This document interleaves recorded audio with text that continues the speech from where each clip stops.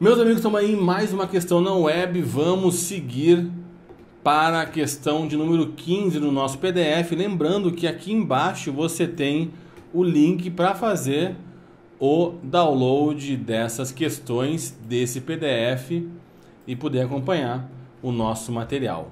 Bora lá? Então vamos lá. Questão de número 15 fala o seguinte, ó. Veja. Com base na instrução CVM número 555 de 2014 e suas alterações, julgue a amortização de cotas de um fundo de investimento consiste no pagamento uniforme de parcelas das cotas, sendo sua efetivação independente do disposto no regulamento ou deliberação da Assembleia Geral dos Cotistas. Zander, eu nem estudei fundos, então saiba de uma coisa: nada vai contrariar a Assembleia Geral de Cotistas. A Assembleia Geral de Cotistas é a autoridade máxima dentro de um fundo. Assim como numa recuperação judicial, a Assembleia é sempre a autoridade máxima. Né? No caso de uma recuperação judicial, a Assembleia é composta por devedores. Né? Então, errado por excelência. Falou para você que Nananã vai ser independente da vontade da Assembleia? Pode, sem medo de ser feliz, é, de maneira geral, essa questão vai estar errada. Porque a Assembleia é composta por todos os cotistas. Então, você precisa, você, você, né, é, é a autoridade geral, porque assim, são os cotistas definindo sobre o destino dos seus fundos, do seu, do seu dinheiro. Pode haver, para ser uma exceção, isso tem que ser uma questão muito fora da curva, sabe? Tipo, em Assembleia Geral definiram fazer alguma coisa que é contra a lei, sabe? Mas, ó, vamos ver o que a instrução normativa 555 nos diz aqui, ó. Ela começa a falar sobre a questão no artigo 37, ó, onde ela fala sobre resga o resgate dos fundos, ó. Deixa eu ver como é que está na tela aqui para você, ver se está bem para você poder enxergar. Não está.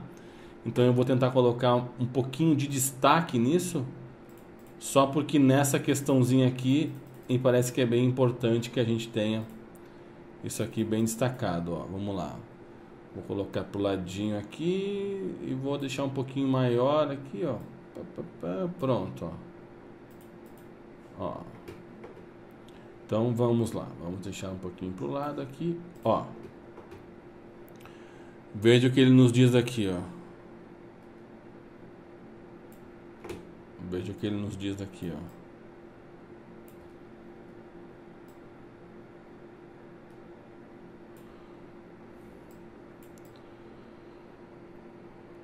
Artigo 37, ó, do resgate e amortização.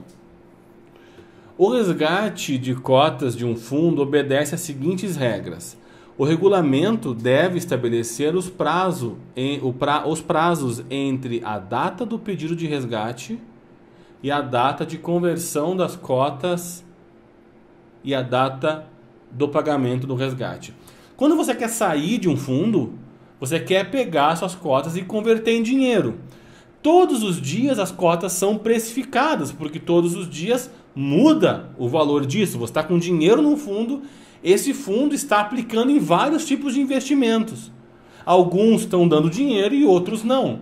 Então, é, por que, que você participa de um fundo? Porque você quer ganhar um alto dinheiro, né? um dinheiro grande um valor grande monetário sem ter um grande valor. Então você entra com mil reais, dois, três, num fundo de milhões de reais. E esse fundo está aplicado em várias coisas. Todo dia está precificando. Quando você resolver sair, o fundo aberto você sai de maneira mais ágil. Fundo fechado demora um pouquinho, tem que achar alguém para pôr no teu lugar. Mas quando resolve sair, eu preciso primeiro ter claro quando porque se todo dia muda o preço, eventualmente se for um fundo, quando você deseja, quero sair hoje, tá? Vou precificar com o dia de hoje, vou precificar com o dia de ontem, ou como você vai receber amanhã, precificarei como dia de amanhã. Tem que ter essa regra. Quando que será precificado o valor da tua cota? Ok? Então isso, ó.